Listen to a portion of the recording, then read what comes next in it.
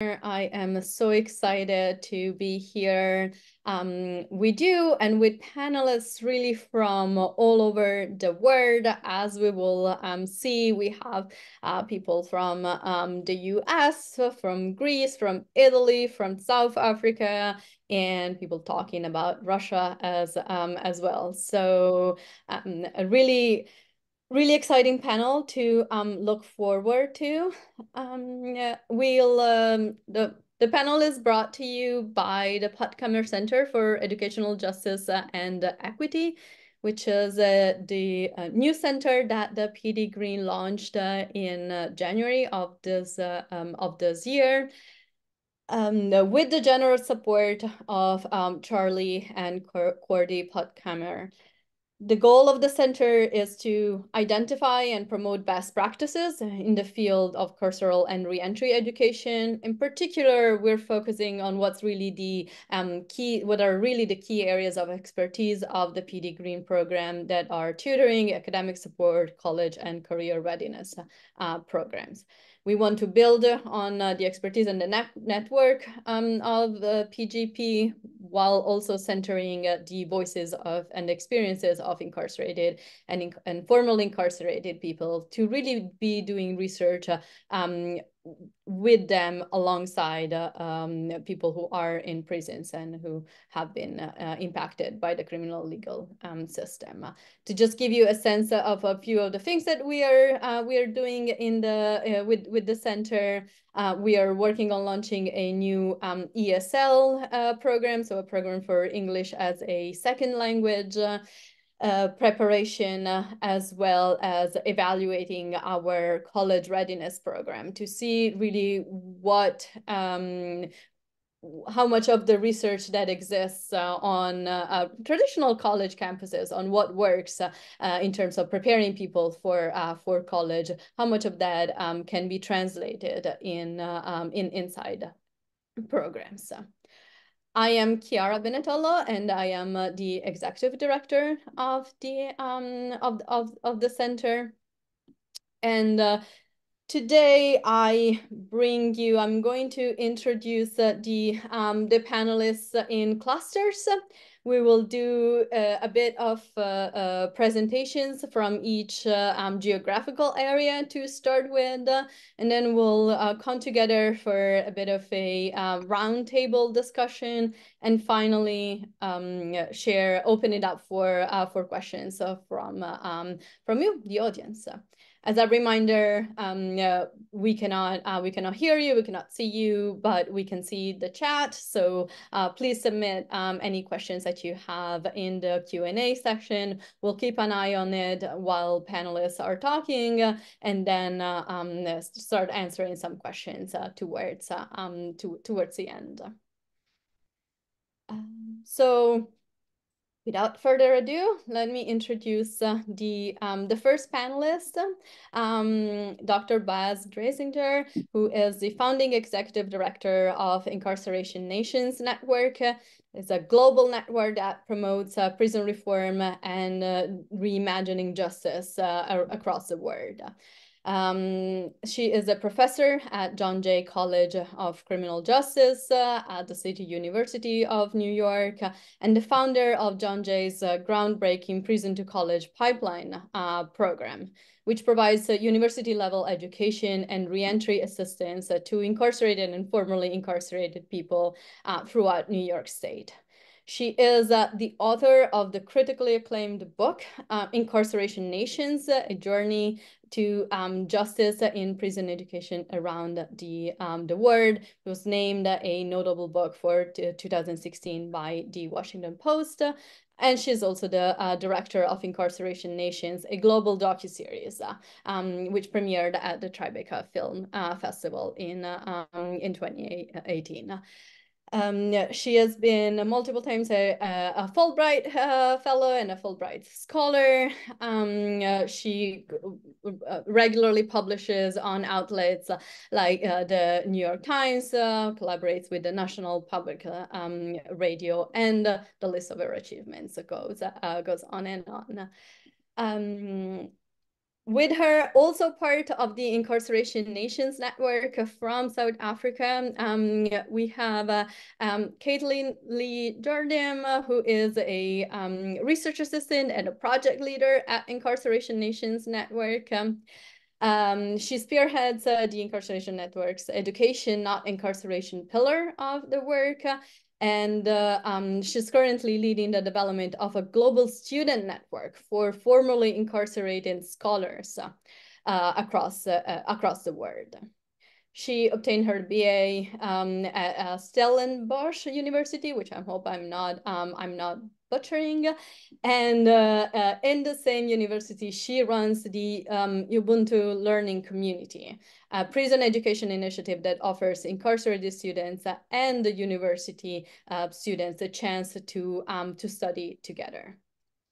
Um, and the last uh, of um, last but not least person in this cluster is um, uh, Kofi Danzo, um, who is the reintegration leader at the Ubuntu Learning uh, um, community. Um, again, a uh, partnership uh, with the Correctional Center and uh, and and and and the university. Kofi enrolled himself in uh, this program uh, while he was incarcerating, and now he is completing his um, law degree at the University of uh, um, of South Africa, which is uh, congrats, uh, Kofi. Baz, Caitlin, and Danzo, and, and, and Kofi, floor is yours. Thank you so much. Um, and thank you to all the attendees. How wonderful to see such a well-attended webinar in the days post-COVID um, which is testament to Petey Greene's great work and, and reach. Uh, so I am uh, going to give give everyone a, a, bit of an overview of my and INN's work in the education, not incarceration space, and then I'm going to pass it on to my wonderful comrades, Caitlin and Kofi, to share in more detail about some particular initiatives, including the Ubuntu Learning Community. Uh, so INN, uh, Incarceration Nations Network, is an outgrowth of my book. It was a somewhat accidental outgrowth of my book. I didn't know that in writing a book it would become a movement, but with all of the connections that I started building around the world and doing this work, it seemed natural to form a network that brought everyone together um, on the same page, both literally in terms of a website and metaphorically um, in order to, to create collaborations transnationally. So we are a global prison reform and justice reimagining network with partners all over the world. Quite literally, we have 132 partner organizations uh, in more than four dozen countries doing a range of work in the space of prisons and justice. So everything from legal reform and advocacy, policy work, restorative justice work, reintegration work, um, and of course, education work in the context of prisons. And as a network, we we uh, we work to elevate and elevate and collaborate with our, our partners' work in various arenas. Um, so we do a whole host of work, but education, not incarceration, is one of our pillars as an organization and very, very central to the work we do.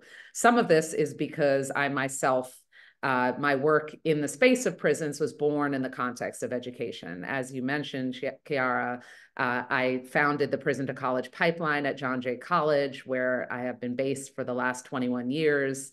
Uh, and spent a decade building it and seeing it grow and thrive um, and seeing our graduates do all kinds of incredible work, including be a regional leader uh, at Petey Greene. One of our one of our incredible graduates, Matthew Wilson, um, worked with Petey Greene for some time. And uh, it became clear to me as I began doing the work transnationally uh, that the space of education in prisons uh, and higher education in prisons in particular was a central point in this work um, and was relevant whatever country uh, I was working in or whatever country our partner is working in. And I think prison university partnerships are so critical for multiple reasons. Uh, one is that uh, the, the development of directly impacted leaders is which is central to the movement in whatever country you're in, um, hinges on so much the existence of access to higher education. That is not to say that um, all leaders in the movement necessarily attended university while in prison, um, but a tremendous number of them did. And it is a breeding ground for community organizing, for directly impacted leadership, and it's critical in that respect. Uh, it is, of course, we already know it creates avenues for opportunity. Um, it is, universities are, for the most part, as compared to many other entities, apolitical. So it is very helpful in a country where um, programs tend to get politicized to be able to have a program through a university that is focused on education um, because it manages to bypass uh, so much of the politics.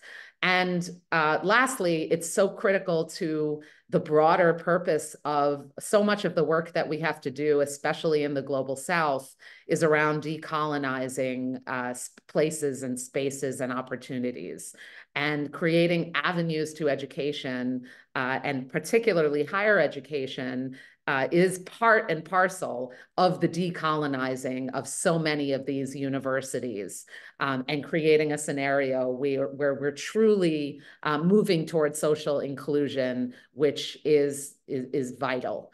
Um, so uh, as we launched, as I launched INN and as we built as, as an organization, building prison university partnerships became central to the work that we do.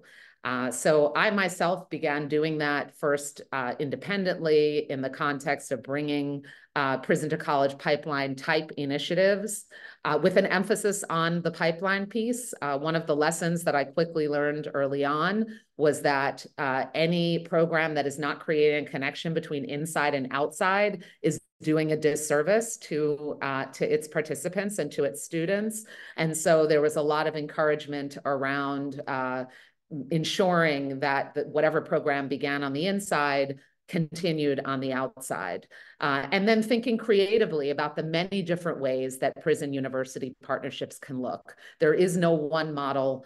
Um, there are certainly many things that cut across borders in terms of the way these programs look. Certainly the importance of bringing students from the outside into prisons to engage with their incarcerated peers uh, and thereby shifting the whole culture around, uh, again, campuses as often very privileged spaces, uh, shifting the thinking of the next generation of leaders, all becomes so tremendously important. Uh, and so early on, I was planting a lot of seeds. Uh, as of last year, we uh, at INN signed a partnership with the Bard Prison Initiative to globalize some of the work and to build a community of practice, a global community of practice that was able in its first year to support a number of programs around the world uh, and, and see them either get born or grow. And so from Argentina to Mexico to Jamaica to South Africa, uh, it was a beautiful thing to support these programs, um, to see them be able to thrive, we also held a global convening in Buenos Aires, Argentina. Argentina has a very rich, rich history uh, of prison university partnerships. And so we held a global convening where our partners came, were able to share, build, learn together, um, and think about what advocacy looks like in a very public way for these prison university partnerships. We also hired a research uh, fellow to focus on the study of prisons and education in a global sphere. This year, we were able to uh, hire a research fellow in the journalism space who's going to be covering mainstream stories about prison education in a global context. We see a lot of attention paid to the US all the time in these issues, but we don't often see the kind of support and attention uh, in a global context for the work. So um, it's been an enormously, I'm giving you the nutshell version, so, um, so, so we have time for all of us. Uh, but I also encourage you to watch our, we have a docu-series, uh, as was mentioned, and one of our episodes is called Education, Not Incarceration. Uh, you can learn more about some of our partners in the global space in this work. Uh, our new uh, aspects of this education, not incarceration pillar is a very exciting one, and I'm going to pass it to my comrade Caitlin to share more about, uh, about that project, which we're currently building. Yeah, thank you, Baz. I just want to check, can you hear me? So my speaker on. Great. Yeah. So um, just a little bit of background first about myself. So I happen to be a uh, outside student who partook in the first ever inside outside program yeah in south africa that was started it was the first south african um, edition of the prison to college pipeline that Baz started in new york city. So that is how i got into this and that is where i met my colleague who's on this call Kofi. And since then I have dedicated, I have a legal background, but I have dedicated my career and my time and my efforts in making sure people who are incarcerated have access to education. That is my, that is the, at the center of my heart in everything I do. And so when Baz asked me if I would like to lead um, a project that brings together students who have studied whilst incarcerated, of course. um, and that's what we're currently doing. So the idea is that students all around the world who have experienced um, some form of education behind bars come together and build a global network. The purpose of this network, the name of this network, its goals, or to be determined by the students. Currently, we have um, partners in the UK, in Argentina and Brazil, Nigeria, and South Africa, um, all working together to build, to build the first edition of the global network with the idea that we will expand to other countries, which is also why I'm so excited to be on this call, as it's also a great opportunity to learn more. I have never met anyone in this space from Russia or from Greece. So these calls are really, really fantastic, and I really appreciate the opportunity. Um, then a little bit more about the Ubuntu Learning Project and um, just prison education in South Africa in general. So South Africa too has a very good, deep history of prison education. In fact, it started with Robben Island and the, on Robben Island with Nelson Mandela and freedom fighters who fought for their right to education. They pushed the apartheid government to formalize the, the informal education that they were doing on the limestone quarries. And they fought and they fought, and eventually they won. And to this day, the University of South Africa, UNISA, they still provide incarcerated students all around South Africa um, opportunities to complete degrees whilst they're in prison. The Ubuntu Learning Program, which is the program Kofi and I are, are part of, uh, a version of Prison to College Pipeline South Africa, is the only program in South Africa which um, has some form of um, person personal contact or personal lecturers. So it's a short course program, um, a year-long short course program. It's interdisciplinary. So we have um, an economics lecturer, a um, history lecturer, a legal lecturer, and a um, literature lecturer on board. And they come every Thursday to the prison alongside 20 Stellenbosch University students, and they study with 20 incarcerated students. Everyone in the class is on equal level. Um, and it is not your normal lecturing style, so it's no one is the expert on any topic. And through this engagement, we have seen just incredible things from our students, including Kofi, who is on this call, um, and then other students entering in the space of activism, um, working in um, paralegal spaces and in community safety spaces, all who have participated in the course and are now doing incredible things on the outside. So yeah, um, where we are currently, we have the opportunity to expand our project into a female correctional center, which we are super excited about. And then we're also starting initiatives of just getting prison education a hot topic in South Africa. It really isn't. There is little to almost no research on the topic. Um, and so that is what the gaps that we're exploring now that we could potentially fill. And without further ado, I don't want to take too much time. I'm going to pass the mic to Kofi um, to introduce himself. Uh, thank you so much, Caitlin. Um, uh, greetings, everybody from uh, South Africa, uh, city of Cape Town. Um, I always like to open um, with the words of our late great icon, uh, our former president, Dr. Nelson Mandela, where he quotes, education is the most powerful weapon which you can use to change the world. Education, the most powerful weapon which you can use to change the world. These words resonate with me very strongly as a person that is system impacted, um, having spent seven years of my life in, incarcerated. I chose the path less traveled, which is the most difficult path to follow um, whilst incarcerated, which is a path in education. Um, I studied law, as Kate introduced. Um, I did uh, my LLB. I'm currently in my last semester, uh, so we'll be graduating uh, during the course of 2024. Um, it's it, to say that um, this journey has been mind blowing. Will be putting it mildly. Um, I met uh, Dr. Barris Jesinja in the year 2018 when she introduced uh, the Prison College Pipeline to um, South Africa. And since my release in 2019, um, I've been incorporated into the INN family, uh, working as a reintegration um, leader for the Ubuntu learning community. And this has also aided me in, you know, assisting our fellow brothers and sisters when they come home, you know, um, to be able to continue the good work that they, they started on, on, on, on the inside.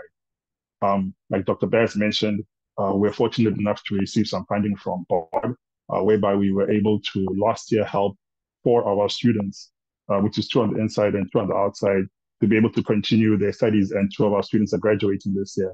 So social justice initiatives are very new in, in, in the South African landscape, but I think that we are on the right track and having access to you know such powerful minds, uh, people that have been doing this for years, is also uh, allowing us to grow in stature in this field. So I want to thank everybody and thank you so much for, for the warm welcome. Thank you. Thank you, everybody from Incarceration Nations and, and South Africa. Um, I'm already seeing a lot of interesting threads uh, emerging from uh, um, from your uh, from your speeches. Uh, so let's move on to our next uh, country or um, geographic area um, with uh, with with Greece, and then um, again. Please um, keep thinking about your questions. there will be time to um, to ask them at the at the end. So uh, from Greece uh, or about Greece, uh, we have uh, uh, Dr. Neni Panourgia and uh, um, and and Mary um, Grizou. I Dr. Neni Panourgia is an anthropologist and the academic advisor at the Justice in Education Initiative and um, adjunct prof associate professor at the prison education program at Columbia um, University. Um, through this um, institution. Uh, she teaches uh, in New York State and federal prison uh, prison system. Um, her last book was uh, published in Greece uh, in uh, 2020 and um, came out in English translated as um, The Foucault Node, Leros and the Grammar of Confinement. Um, and and uh, Mary has been the director of the Fair Chance School um, at the Diavata prison in Thessaloniki, Greece. Uh, she has been teaching English to incarcerated people for uh, 12 years, and she's uh, interested in um, prison adult education. Um, she also BA in English literature and language and MA in creative writer writing, which is really fascinating. So floor is yours, Neni and Mary. Um, thank you so much, uh, Chiara, thank you for putting this uh, together. Uh, a great big thank you to Petey Greene for having um, helped us at, uh, at Columbia all these uh, years um, with tutoring. Um, I will I will yield the floor to Mary to Mary Grizou, who has a lot more to say about about the uh, present um, educational conditions in uh, in the Greek prison system, uh, especially since she's the director of uh, one of those um, one of those uh, correctional facilities. Um, I I will just say um, I will talk about two things. One is uh, the beginnings um, of uh, prison education in, in Greece. And then I will share with you um, a project uh, by uh, an organization, nonprofit organization that's called Caravan, um, uh, who does uh, a number of uh, um, of programs in in Greece in the within prisons. Um, and they have been trying to put together a zine, a prison zine in uh, in the Greek prisons. So I'll talk about that, which is connected to the um, uh, to the present educational uh, conditions in uh, in Greece that then Mary will take off from. Uh, I want to say that, as we all know very well, um, systematic prisons did not exist until the beginning of the 20th century and they were systematized primarily um, as places of confinement for political prisoners. And it was those political prisoners, um, of course, Mandela, Nelson Mandela was uh, was mentioned, but in um, elsewhere, also in, in South Africa, you know, the Boers War and the concentration camps uh, there, those were um, those were holding political prisoners. But uh, in uh, in Greece, in particular, um, political prisoners started uh, being imprisoned uh, with the um, rise and uh, establishment of the um, leftist, socialist, and communist movements. And those those first political prisoners were um, a mix of very well educated persons and people from the uh, proletariat, and it was in those in those in those spaces that the need for um, education, as Baz said earlier, education, not incarceration, um, the need for education that would actually uh, prepare uh, better citizens to um, to uh, uh, create a resistance movement towards the onslaught of, um, capitalism, actually, um, and its systems uh, was formed. So from the early 1920s uh, until the uh, until 1974, when the last political prison was um, was uh, closed in in Greece. Political prisoners were take had taken over the um, the project of educating the younger generation of political prisoners on one hand, and uh, some of the uh, non-political prisoners in uh, in the Greek uh, prisons. They um, they went. They, they started these um, very systematic but non-recognized um, schools in prison that went from primary education all the way up to uh, tertiary education. Uh, building on that model, and makers will talk to us more about this. I think uh, building on that model, the the left wing Syriza government that was in power in Greece between uh, 2015 and 2019 um, allowed for the first time in the um, criminal prison system, so not um, not within the context of um, of political um, imprisonment, but for political prisoners who still exist in Greece right now, for political prisoners allowed um, people to um, uh, obtain to study for and obtain their PhDs. And uh, the presumed leader of the um, urban guerrilla organization, November 17th, um, Giotopoulos was um, the person who actually received his PhD in um, uh, computational mathematics um, in uh, while in while incarcerated. Um, so I, I, wanted to say that, and now I want to um, I want to share with you uh, the the project, this project right here, uh, the HEARS, um, the HEARS project. I'll put it in the uh, in the chat. Oh, right there. Uh, Chiara is many steps ahead of me. Um, so if you could uh, go, it is a it's an initiative that is being uh, supported by the Stavros Niarchos uh, um, Foundation for Public Humanities, and the project in which I was um, uh, involved and where um, three um, uh, three JIE scholars who have come home from Sing Sing and who are um, part of our of our JIE Scholars Program uh, also participated is the project on um, on creating a zine, and one of the things that came that became apparent uh, in the context of that is the fact that in uh, in Greek prisons right now, as in uh, I think most European prisons right now, the the greatest hurdle is common language.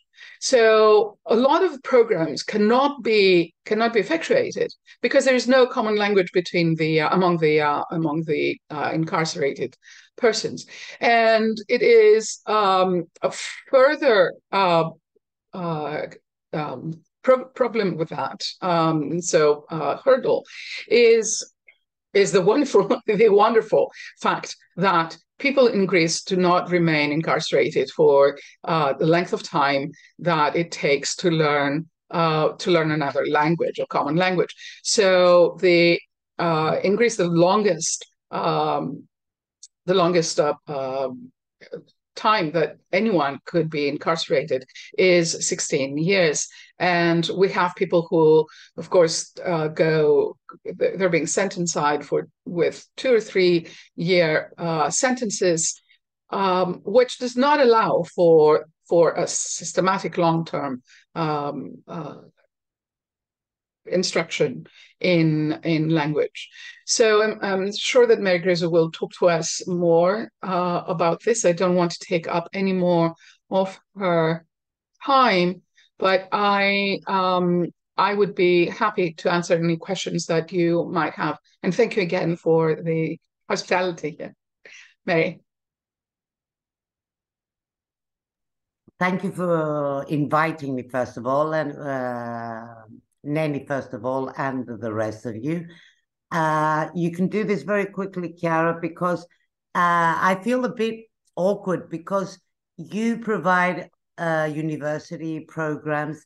Here in Greece, we are a very low level, although it started during dictator uh, in the years that Neni talked about with the prisoners. What we have in Greece are second chance schools. The main level of education in prisons are second chance schools, they, uh, which are equivalent to uh, junior high school. We don't, uh, there is a law that started in uh, 2018, and there are about 25 of us who are directors of education in general, and we can uh, found um, primary schools, high schools, senior high schools, or, or colleges. Uh, but it's not organized as I see in your countries, as I saw Baz uh, talking or Neni telling me about what's going on in the state of New York. So what I've got here is basically the second chance schools, which I repeat uh, provides uh, the three years of junior high school. So what we have is a big problem, as Neni mentioned before. We have a lot of people who are foreigners.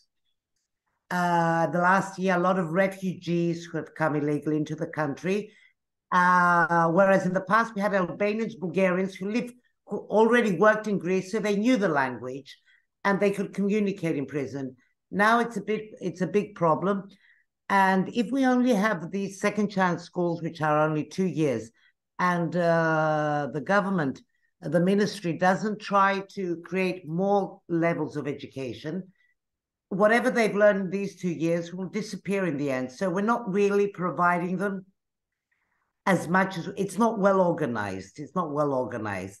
And it's up to us, the directors, to pressure uh, the people who are in charge to try to make other uh, educational structures. So the main core core of our schools is this, and you can see the lessons that are taught there. Uh, there are people who go to university, but no university in Greece provides programs as you do in the States, at least, from what I talked when I talked to Neni uh, a few days ago. Uh, there are some students who, uh, if they were going to university before they were incarcerated, they can uh, um, ask to continue. Uh, it's not always accepted, though. We've had problems with a lot of students. Uh, the Makis was one of them, other students who tried, and uh, instead of letting them stay in the city where they could attend the lessons, they punished them, sending them to other prisons where they couldn't uh, attend their lessons, so they couldn't continue with their studies. Uh, there are some students who have got scholarships and go uh, and do it online on the Open University. In Greece, there were scholarships given the previous years. Uh, in our in our uh, prison in Diavata, there are eight students who are doing a undergraduate course and uh, two who are doing postgraduate. One of them is in medicine, and one who's going to a technical college. But generally, uh, from the 33 prisons that we have in Greece, only mm, 12 have schools, the second chance schools. There are two or three that have formal education, like a primary school, high school, uh, high school, junior and senior, but the juvenile students in Avlona.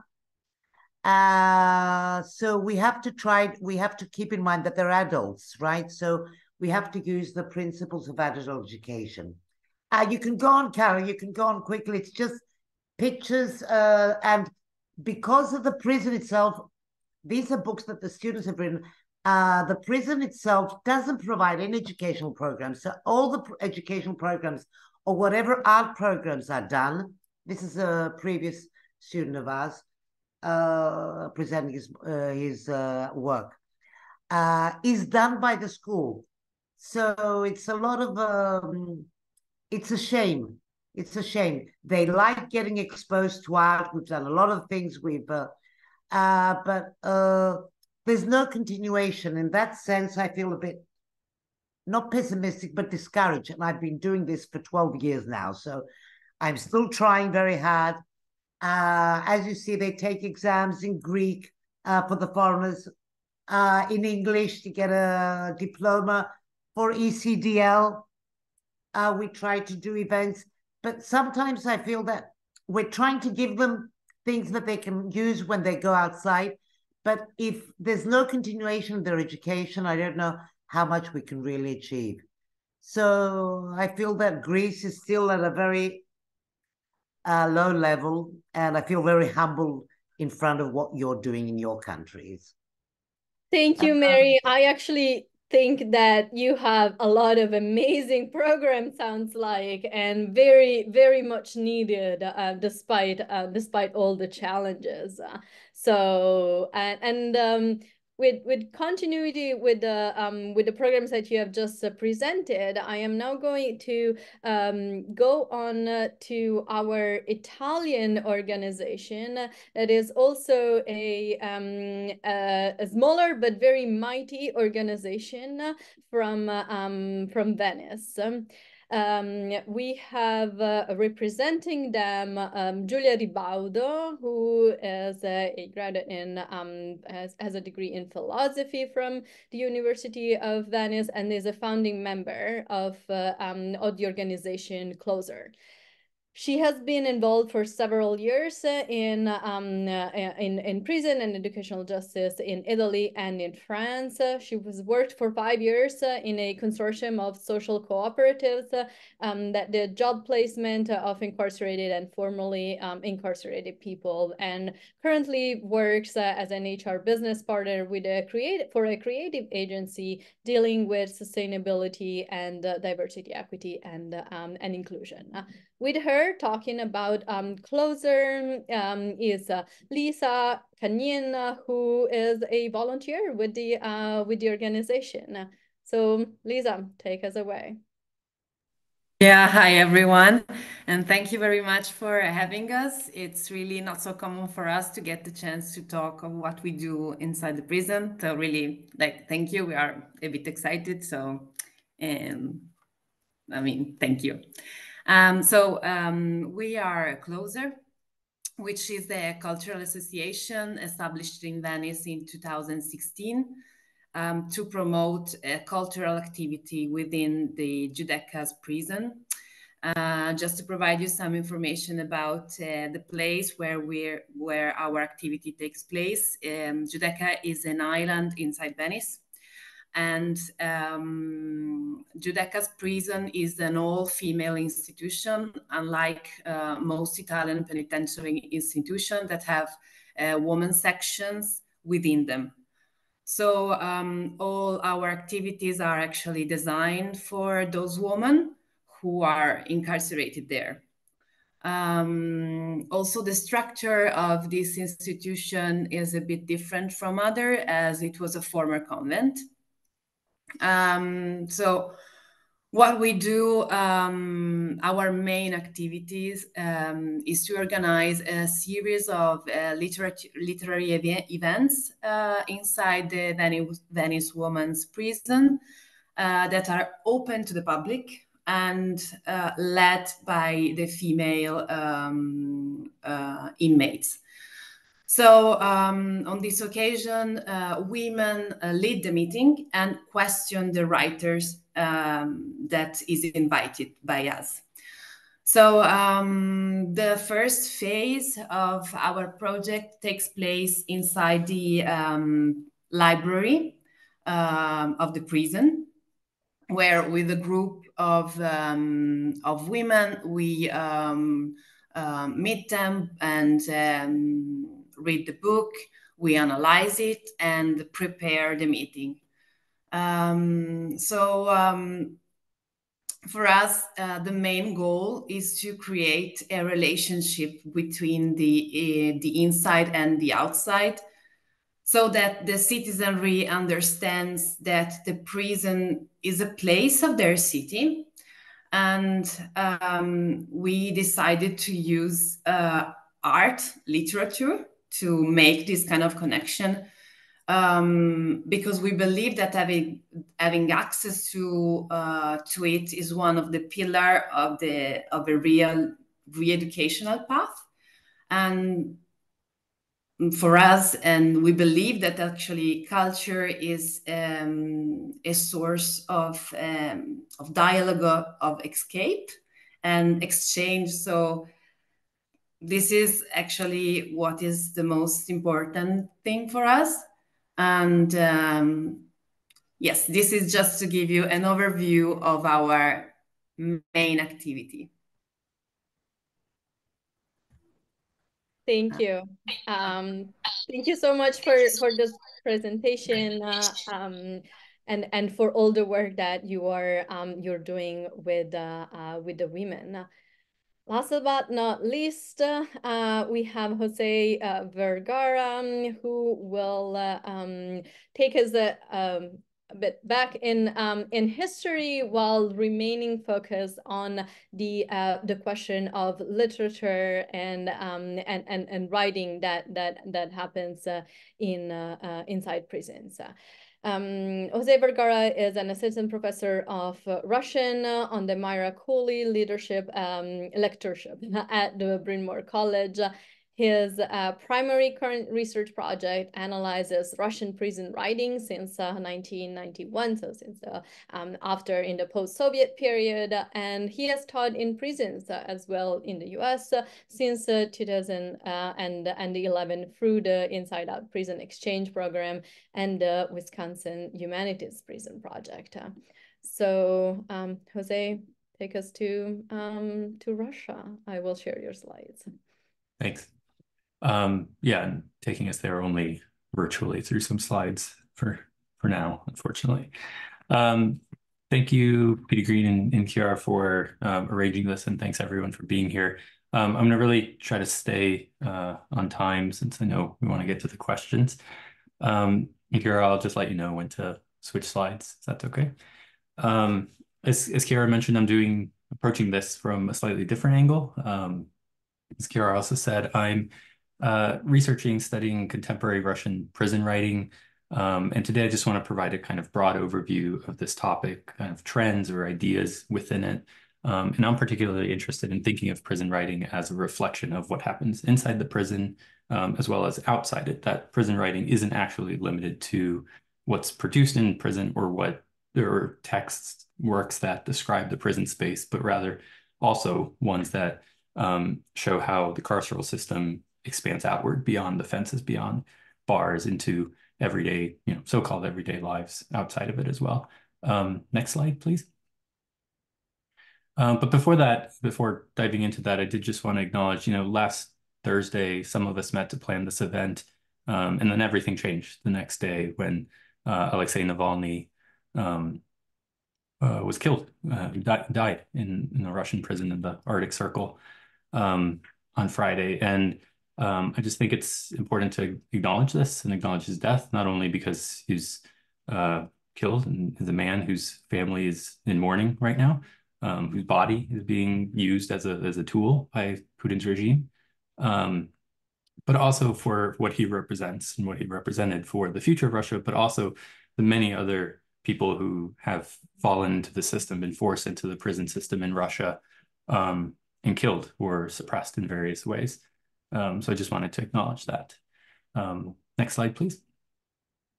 As I mentioned, I just want to provide a quick overview. Happy to take more questions or um, delve into it and make other connections. Uh, next slide, please. Um, on contemporary Russian prison writing, I want to start with this question. What is prison writing or Russian prison writing in particular? And the way I'm thinking about it, um, among other things, takes on these questions or topics that prison writing, as it is elsewhere, but we're looking at the Russian context, a form of self-preservation, a way that writers are making sense of their experience and um, preserving their uh, identities. Chiara went out of the slideshow. Oh, sorry. That's all right. Um, preserving their identity through putting their experiences down on paper or in drawing. There's some um, really fascinating combinations of text and image in some of these works. Um, it's a protest against power in that it describes things that aren't usually seen if you aren't inside a prison, of course. And then uh, what I think is particularly significant and important in the Russian context is that it's a tradition that almost every writer, I would say, who's writing in prison, um, at least those that manage to get their voices out and get published, are thinking about those who came before them, that they're taking the ideas, images, tropes, experiences that others have produced or gone through in the prison space during Soviet times or before um, as models for what they're now documenting or now what they're doing. It's, it's always this long lineage. Next slide, please. Um, so again, just a few examples. There's certainly memoirs, the kind of things that come to mind probably um, when you think of prison writing um, in the Soviet context or uh, elsewhere. Um, so we have works like Oleg Navalny, Alexei Navalny's uh, brother, um, um, memoir, which hasn't been translated into English, and I'm including mostly works that have been translated into English, um, in case anyone wants to follow up. Uh, or Mikhail Khodorkovsky, who's a uh, was an oligarch, maybe remains such. Uh, their memoirs of their experiences, or the memoirs of a couple Pussy Riot members. Um, one thing that I want to highlight here is that these are docu documents, um, memoirs about their individual experiences, but they also paint these portraits, a kind of anthropological approach to painting portraits of others in the prison space. And it becomes not just about the individual, but the collective. That's, I think, really important. Next, please. Um, again, there's documentation um, in other Russias. For example, Victoria Lomasko, um, she's a, a, a, graphic reporter, produces these kind of graphic novel-esque uh, accounts of various um, other Russias, kind of lesser seen places and groups in Russia, and has gone into, um, or, or, did in the past, um, youth detention centers and did drawing lessons and documents what's happening there. Next, please.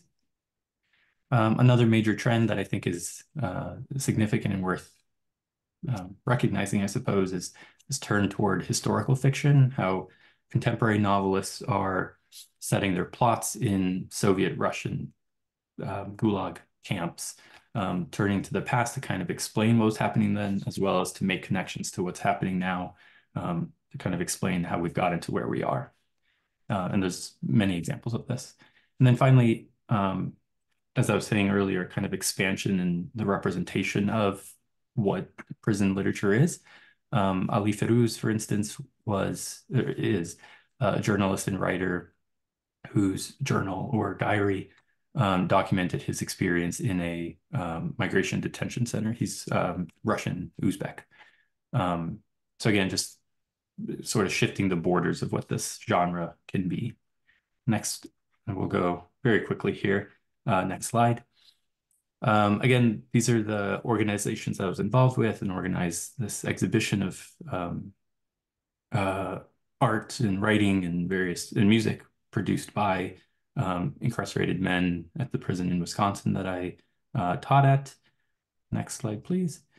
And then just real briefly, on this slide and the next one, there's a link, I'll put it in the chat as well, but it's this scalar book that students and I put together in a course on the history of Russian uh, prison writing, the whole history, not just the last 30 years, that has um, kind of pages for various texts in case anyone wants to learn more about various examples, and then essays that contextualize and situate um, many of these texts, um, again, from different periods of, of Russian history.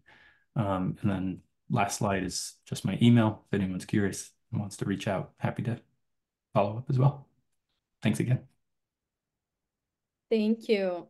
Um, thank you so much, Jose. Thank you to everybody. Um, to conclude this uh, uh, journey through the word, I will say a couple of words about what we do the, as the Petey Greene program in the um, in the US. We um, have been around since uh, 2008, and we are now the largest uh, provider of uh, tutoring and academic support services for uh, people who are incarcerated and formerly incarcerated um, in in the US, we are in seven states plus uh, Washington, D.C., all over the, the East Coast. Uh, and uh, um, as I mentioned, we focus on on tutoring and on preparing people for um, for colleges and now also going into preparing them for uh, for their careers, their next steps. So, um, we um, yeah. So we, the, our principle is we take volunteers um, who are uh, um, most typically college students uh, from uh, various colleges. Uh, we partner with more than 50 colleges and universities. We train them and we bring them uh, um, inside correctional facilities or in reentry programs to support uh, people who are incarcerated, you know, reentering with meeting their, um, their academic goals. And our mission is really a twofold mission. On the one hand, it is supporting the goals of incarcerated people, and on the other is educating our our volunteers, many of whom I know are in the audience of this uh, of this webinar on the injustice that is manifest in the um, U.S. carceral system, and as of today, on uh, uh, the injustice manifested in uh, many other carceral systems across um, across the world. So I want to get us started with um, with with some question, a brief conversation um, among uh, um, us uh, and the, the the panelists, and then we will um, open it up for um for for questions from uh, from from the audience. And I want to start. Um, we we saw so many trends uh, um, that that I, I, think will be really interesting to um, to touch on, uh, right? The importance uh, of uh, um, colleges, but also of other educational programs that are not uh, that are not colleges that are equally, I think, as important, uh, um, like the, the, the the secondary schools that um, we learned about in in Greece, like the cultural projects projects uh, done by uh, by Closer in um, in Venice. Uh, but another um, side of the question that I seem to um, to emerge from all of um, the presentations is uh, um, a lot of the work that everybody here is doing is not just about uh, um, providing services and programs to support the incarcerated people, but it's also about educating the broader public about uh, the um, realities of incarceration and really bridging that gap uh, between the outside and um, and the inside. So I'm curious if uh, any of you wants to um, share a bit more about that? Why do you think it's important? Uh, uh, what are some of the challenges that you're facing? But also um, how are you seeing that working? What are the successes that you have encountered in this space? So um, i can say something about it as it's actually one of our main goal to reach and engage the community participation actually. So this is really important for us. As I said earlier, it's mainly because uh, we want to open this dialogue between I don't know if I'm right, if I'm I will use the right words, but between the victim and the aggressor, let's say. So we want to uh, um, start a dialogue between them. Um, and the challenge we are facing actually is to um, persuade the prison system that these projects really uh, that that engage the outside are crucial for social reintegration. Because we want we we cannot put them apart without really having the chance to get in contact with the rest of the world if we want them back. That's our goal actually I'd agree with, um, I don't remember your name, sorry. Uh, it's Lisa, but don't worry. Lisa, yeah, from Italy. Um, I think there's a power play between the educational systems in uh, prison and prison as a different structure. Uh, they want to suppress them because that's their role, whereas we want to free them.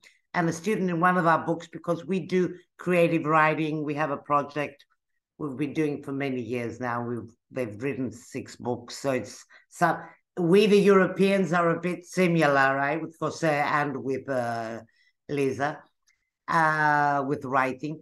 Uh, we want to free them, and a student of mine had written once that and going to school and doing all these uh, art programs is uh, the legal escape. You said you mentioned that before, Lisa. So uh, doing um, having activities, writing, having books, or having events where you bring the public inside. You open this uh, window, this this door, is a way to change the stereotypes that people have about uh, incarcerated people, and we see that when we have uh, events at school or when we have uh, events out school in museums or uh, students come from universities and work um, voluntarily at school. So it's very important to keep this door open and keep this this communication. And it's not just I I'm not just say that for the for the people outside, but even we who go work, we go with stereotypes and we change uh, when we go there. So I think that's very important. It's uh, it goes double ways. Yeah, I think that's a very, very good um, topic, um, Chiara, one that I, I, feel very closely to because one of my experience, I've, I've been fortunate enough to travel to the USA um, and I've had experience of this, of prison education there. And I'm actually mind blown by the amount of interaction from the communities and societies. They are very connected with realities of incarceration, um, where in South Africa, what's going on in prison and the roles that prison plays in our society is actually a distant uh, imaginary thing for most people. Um, most people in south africa their perception of prison is informed through media. Um, so often we get asked about world's toughest prisons on Netflix and that kind of thing. And so when that is the narrative that is coming into our society, and we know because we've had experience that that is far from the reality, um, it becomes incredibly important to try and change that narrative on the outside too. It does not help that you change or that you have any impact inside a facility if you're not changing the minds of the people on the outside too. Um, so yeah, that is something very key for what we're doing now as well. And um, I can speak from my own personal experience. Before I went to prison, I absolutely was obsessed with crime documentaries and I thought I wanted to be a criminal lawyer. In fact, I wanted to be a prosecutor. And then I went to Brandvlei Correctional Facility and I had the opportunity to sit across tables from incarcerated students. And I was absolutely mind blown by the intelligence that people have decided to lock up behind bars. And uh, it was through that experience that I am now an, ad, an, an absolute activist for um, prison reform and justice around the world.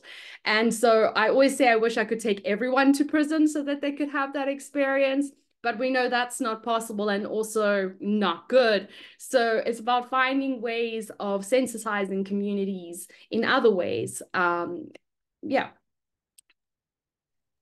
And I'll add to that that the um, so I'll say a word about backlash. I mean, it's especially relevant here in South Africa, but also in throughout the global South. I think one thing that Americans uh, don't realize about this space outside of the U.S. is that uh, there in the U.S. there is a, a, a plethora of financial aid opportunities, access to higher education for people um, to attend university. I mean, I'm at CUNY, we're affordable, we're accessible. Um, there's TAP and Pell and so on and so forth.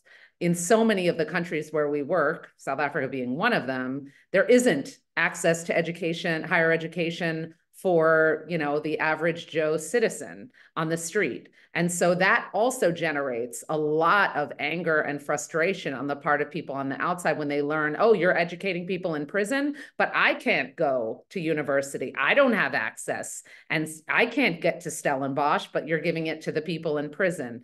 Um, and so you tend to experience a lot of that uh, outside of the US and particularly in the global South. And so engaging with the public to help them understand why this is so important, why it benefits all of us for there to be access to higher education in prisons, why we're in this together as a society, and if we're genuinely interested in creating opportunities and uh, and, and getting rid of the levels of social exclusion that produce crime, it's critical for there to be access. And the work that we do with building global um, communities of practice, and particularly with the student network, we definitely see this as being vital is we want to create it such that it's a global norm that there's access to higher education in prisons that whether you know in the eyes of the prison authorities and the eyes of the public that this is not some crazy radical notion to but rather um, an absolute global standard of what should be expected in the con as long as we have prisons we have higher education opportunities in prison. And to just normalize this as being hugely important um, for all of our uh, safety and liberation. I, I, I completely agree with uh, with everything that uh, that Baz and uh, and Mary just uh, just said and Lisa. Uh, I just wanted to to add that this is precisely why uh, on campus programs uh, such as the one that John Jay has and the one that we have, and other other places in the in the city, right? Uh, uh, St. John's and uh, St. Francis, and uh, you know, um, that's why it's so important because they are so important because what they do is that they actually uh, open up the space of carceral and post-carceral education so that the i mean at columbia we have integrated and i think that we are the only i know that we are the only ivy we have integrated classes right so people who come from prison decarcerated persons are put in classes with the regular um, Columbia undergraduates or Columbia graduate students in some cases. Um, and so, so the, the, there's this diffusion and de-escalation of the of the notion of the criminal individual, right? The dangerous individual that exists uh, inside inside the uh, inside prison system, and I think that that is it's extremely important as a as a step towards educating the wider public um, about what it means to to be a prisoner or to have been a prisoner. But we, what you were mentioning, Baz, we we said I have seen it in the uh, in the U.S. Also, I have seen whenever I I post any of the um, announcements um, of programs that we do at Columbia, where we I see in the uh, in the comments below people saying, "Oh, I didn't know that I had to be a criminal. I didn't know that I had to commit murder in order for me to be able to go to Columbia. And and we and in those in all those cases and all those uh, comments, I take time that I don't have in order to respond and set the narrative on a different on a different level.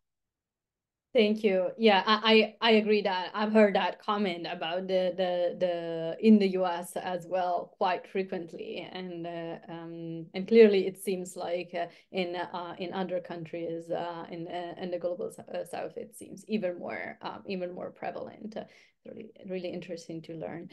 Um, I have one more question for us to talk about collectively, and then I want to open it up for um, for questions from the uh, from the audience. I have many more in mind, uh, but but I want to make sure that we get to. Um, I, I see the a lot of questions piling up in the um, in the chat that are really interesting. But before we move on to that. Uh, um, I'm curious about any new programs, uh, new research uh, projects that you have. What is it that you are working on um, that that like what what's the latest? What's a new direction uh, um, if you have any uh, anything that you would like to see happening uh, um, in the in the near future? I think there was also a question in the chat asking you about um, what do you want to happen in the next uh, uh, in the next five years in your organizations or in your um, in your countries uh, and and also please let us know how can we um, how can we support you if people are interested in learning more. Of course, we've been putting a lot of links in the chat, but yeah.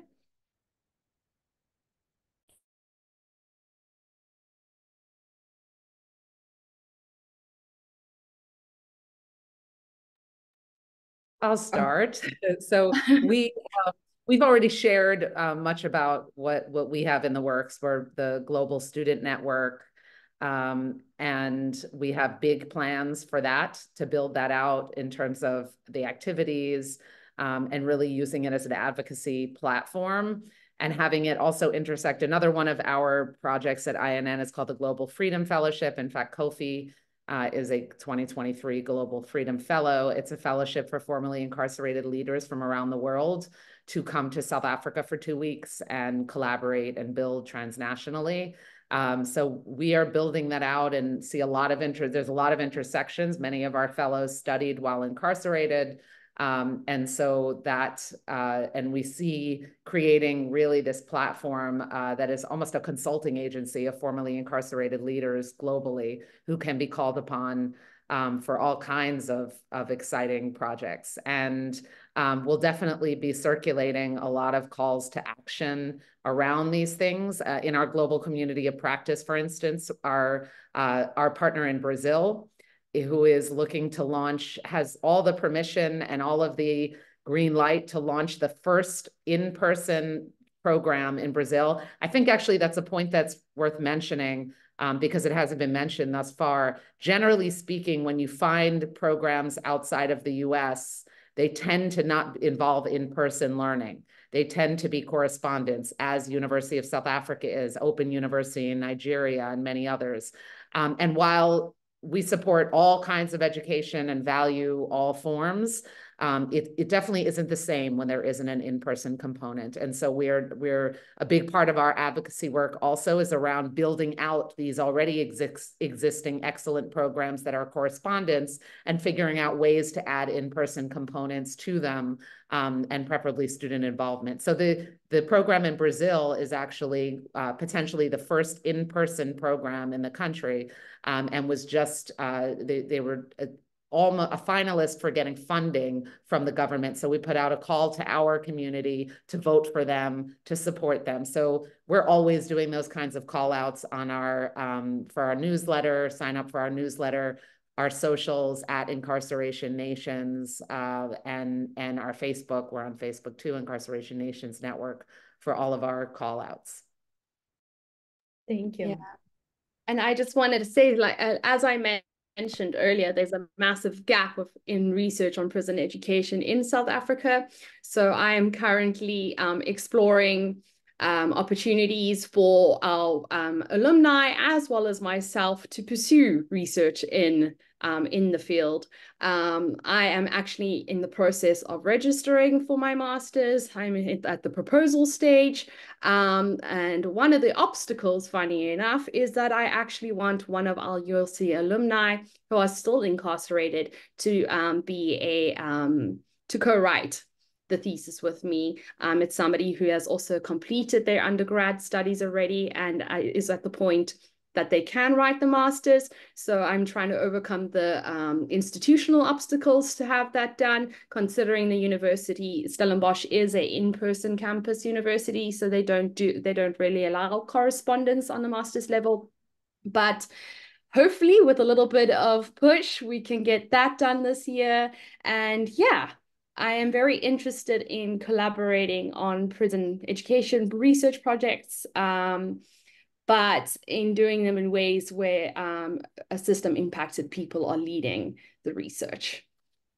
Thank you. That is so interesting, and it's something that we've also um, talked about here inside the Petey Greene program. And I know in preparing for this um, of this with this this webinar, uh, the importance of having uh, um, uh, uh you know really being in active dialogue uh, with uh, with incarcerated people and learning from all the um, culture that is being produced inside um, inside in, inside prison. I know it's one of the tenets of the work work that that closer does too um, that really um, having that sense of there is a lot that we can learn uh, from uh, from the people who are um, who are currently incarcerated. Okay.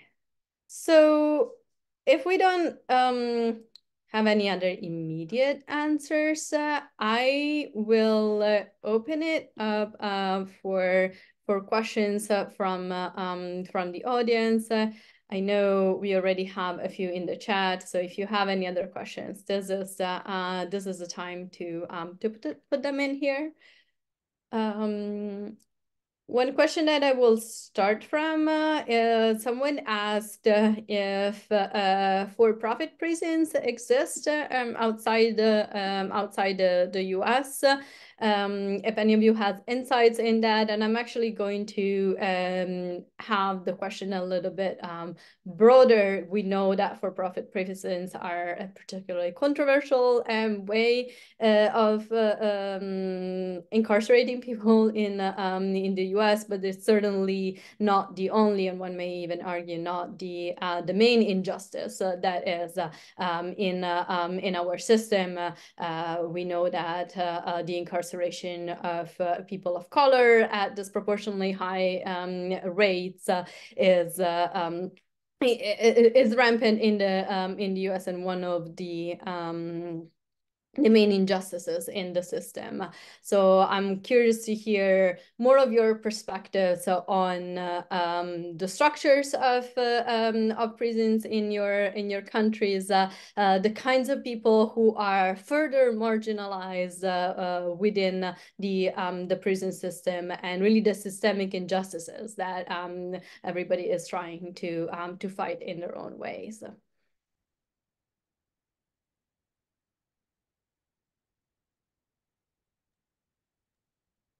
There are no for-profit. There are no for-profit prisons in in Greece, and I think I think that that is the case throughout Europe. Some one of the uh, maybe Lisa or someone for who works more closely with other European uh, prison systems might know better, but that, but there are no um, private prison systems. I mean, private private prisons in uh, in Greece, and there are none in New York State either. Not yet in Greece, but there is a um, uh, there is a tendency here in Greece that they do want to make uh, private prisons. And today is such a coincidence because today um, a law was passed for a new penal code in Greece, which may, became much more uh, much stricter than it was. For example, like uh, if you go to a hospital and you talk to the staff rudely, you might get a year in prison. I'm talking about really ridiculous things. They've made the um, the punishments really strict, and um, I personally think this is a bad a bad turn in the penal system. And I could see my students today; they were all in agony. You know, what's going on? It's going to become stricter. We will never be released from prison. So that is a, uh, but there is a tendency in Greece that they do want to make uh, private uh, prisons, but it hasn't started yet. I don't know about the other countries. So I have a chapter in my book on private prisons around the world. Um, there are at least a dozen countries that do have private prisons. But the thing that's important to recognize is that it's not necessarily about private prisons or not private prisons because state prisons are just as government prisons are just as embedded in capitalism as private ones are most of the time. So it's really more about asking broadly speaking, how intertwined are money-making enterprises um, and justice systems. And they are deeply intertwined all over the world. And that includes pockets of governments being lined um, by you know various contracts and things like that you tend to find that that one way or another there's a connection between um, and prison labor cheap prison labor. Um, i know that our our comrades from brazil are here and that is a big issue over there. Um, how many people in prison are working cheap you know getting paid at a fraction of the price and sometimes get, not getting paid at all um, so all of these things are, you know, there there's prison industrial complexes everywhere, and every country also has its othered population, whatever that looks like. Um, so you know, while in the U.S. obviously it's it's black and brown people. Um, in, in many other places, you're talking about Aboriginal people or you know other Indigenous people. Um, you know, foreign uh, language was mentioned, so um, you know, whether it's people from other countries and, you know, quote, foreigners, um, poor people throughout the global south who might as well be uh, their own race in so many respects in terms of the way that they're mass incarcerated. Um, so you you I you tend to find these things from one country to the next, not operating identically per se, but in terms of this nefarious relationship between capitalism and, you know, criminal legal systems. Yeah. I, but, but, oh, I'm sorry. Was it? Just real quick. Yeah, I, I think Russia's a good example of this um, with all the graft. Um, there's no private prisons, but certainly the government uses labor in prisons um, you can read, for instance, the Pussy Riot memoirs. There are accounts of working, sewing, or yeah, sewing, um, uh, and people being used in these labor camps, um, just like in the Soviet Union, just like elsewhere. And then more recently, a kind of different angle to this. There are reports of like uh, up to 100,000 um, incarcerated people being sent to fight in the war in Ukraine being freed, given this, this choice to fight in the war um, uh, to, to be freed from prison. But, uh, you know, obviously that's not, not a choice, really. Um, uh, yeah, these entanglements that I think uh, Baz is speaking about um, everywhere. I, I, just wanted to uh, mention, because we haven't mentioned it at all, um, that in the case of Europe, what is private is the entire Frontex enterprise, and the the incarceration of refugees that is which has been um, uh, uh, handed out to the private to the private sector, and we see there uh, stark differences between the ways in which those awful state-run prisons are being run and the awful ways the other awful ways in which frontex is running its own concentration camps uh, having having claimed uh, native soil in in greece and in italy and in spain for Frontex uh, uh, international inter-European space. Uh, and there the, the no government, no national government has any um, access to either decision-making uh, process other than handing over the, the space um, or in the ways in which the, uh, the these concentration camps are being run. Thank you. And for those of us who don't um, necessarily, uh, that, that are not European, uh, uh, Frontex is the European agency uh, tasked with uh, managing, uh, um, like roughly speaking, managing the the borders and the um, and, and and migration coming into the, the into Europe. yeah, and I think the eyes of Europe. The eyes of Europe. Yes. Uh, and that also speaks to uh, really the widespread use of um, carceral spaces and logics uh, uh to to punish all sorts of people, right? Um, from uh, uh, from people who are convicted of crimes to people who are migrants, and we could go on and on about disabilities and and all sorts of things, right? So um, yeah, closer. Yeah, we, we just wanted to confirm the fact that also in Italy we don't have a private prison, but um, I mean, um, prisons are state institutions, and also just businesses, private businesses can can actually activate job placement, for example, for uh, inmates. That's the private part. Is there? Do you know if there is a um, in, if there is regulation around the wages that incarcerated people are um are paying paid in those placements? Uh, well, I'm asking because we know that in the U.S., uh, uh, when incarcerated people work uh, is for uh, a ridiculous amount of money. I think the average is 43 cents an hour. So.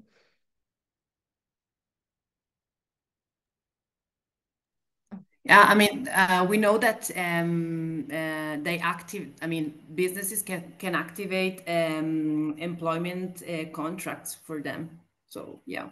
That's really interesting. hanno degli sgravi fiscali anche sulle tasse. And yeah, I mean, there's a, a reduction of taxes for oh, uh, like tax incentives uh, for employing yeah. currently yes. incarcerated people. Yes, absolutely. Thank you. Thank you. In Greece, uh, people are not allowed they, they might work to maintain the prison or to clean uh, the offices in prison, but they, they do not get wages.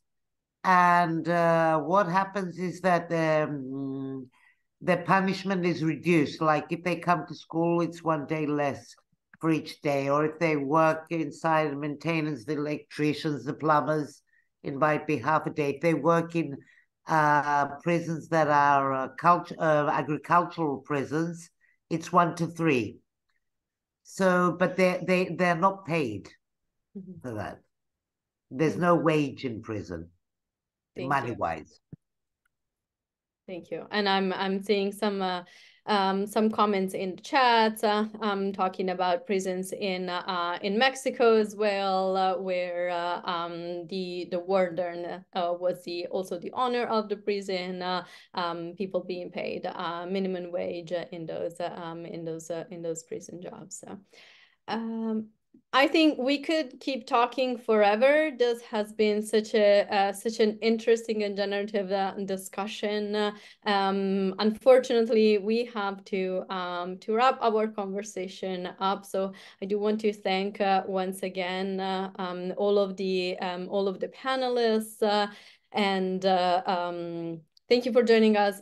Thank you for sharing your um, your experiences. Thank you for to uh, to the people who have been um, listening for your uh, for your engagement and uh, um, and participation.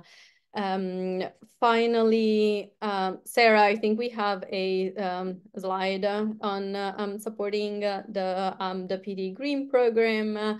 Uh, if uh, as I mentioned, uh, the, the Petey Greene program is a nonprofit organization um, that works uh, inside uh, um, prisons, uh, jails, uh, as well as reentry programs, so all across the um, northeastern uh, United States and, um, and growing um, we are supported by a um, number of, uh, uh, of grants as well as individual um, donations.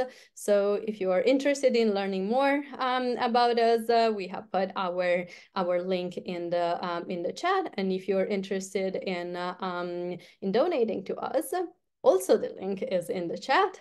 If you heard anything interesting and you want to reach out, please absolutely um, reach out. Uh, um, you can find uh, my email address. Maybe Sarah, we can put that in the chat as well. Um, as well, please, please feel free to uh, to reach out to um, to me. And uh, if you're interested in talking with any of the um, of the panelists uh, and you didn't catch their um, their contacts, uh, I'm I'm happy to facilitate those those connections as well. Thank you so much, everybody, and have a great rest of the day. Have a great evening for those who are in a different time zone. Uh, uh, I am uh, it speaks uh, so much of the interconnection that we were able to create that I think we have um, three or four different time zones in uh, um, in this call, which is uh, impressive. Thank you all.